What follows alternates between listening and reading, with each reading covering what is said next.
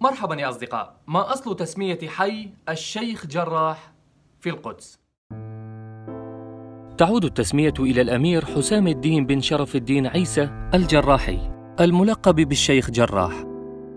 هو أحد أمراء الملك صلاح الدين الأيوبي. وكانت وفاته في صفر عام 598 هجرياً والموافق ل 1202 ميلادياً. وكان الجراحي طبيباً لصلاح الدين الأيوبي. يقع حي الشيخ جراح في الجانب الشرقي من البلدة القديمة في مدينة القدس. عاصمة فلسطين الأبدية.